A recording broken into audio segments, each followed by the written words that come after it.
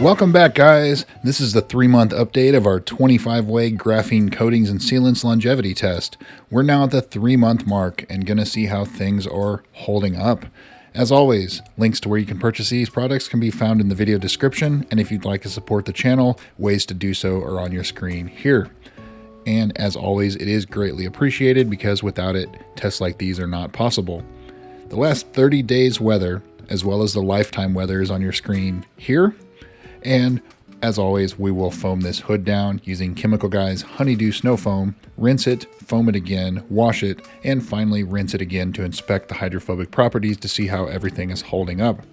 These panels stay outside of our shop 24 hours a day, 7 days a week, exposed to the East Texas elements, and washed once a month until about the 2 year mark until the last one fails. The hoods are rotated either 90 or 180 degrees after each monthly inspection at your guys' request. So with that out of the way, let's get on and see how things are holding up.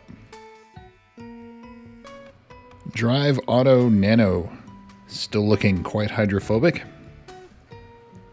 4210H graphene spray, we had marked that failed at around the 30 day mark. 303 graphene spray, the new and the old batch, both looking. The old batch definitely looks a little bit better, but they both are doing not to the point where we'd call them failed, but they're weak. They've been that way since the 30 day mark. Graphene pre production sample A looking very hydrophobic. And Glossit Graphene, their ceramic graphene coating, looking very hydrophobic.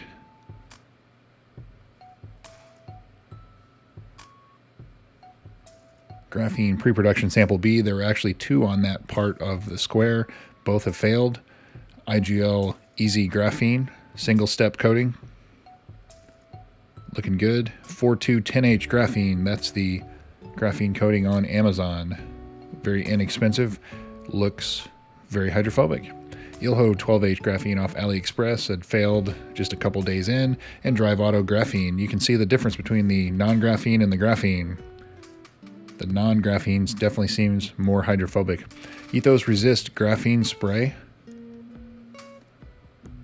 looking really good. Adams Graphene 9H, the spray, looking good. The Xtreme Solutions Graphene spray, not so much. It said it's still okay. It's not to the well. Would you call that weak? It's really close. Yeah, let's leave it alone for now. It's still it's still hanging in there. So Glassparency graphene spray. Move on to there. Still looks very hydrophobic. And this is three months in with nearly 30 inches of rain that it's seen. Significant amount of rain. We had a ton of rain last month. IGL Kenzo Standard versus Graphene. Let's see if there's any difference between the two side by side here. Both are looking pretty hydrophobic right now. Glassparency graphene coating. Yeah, it shows just a very slight little bit sticking there before it falls off, but it's still doing fine. Xtreme Solutions graphene coating. Compared to the spray above it, you can see much much more hydrophobic. Adams, the spray versus the coating, very hydrophobic.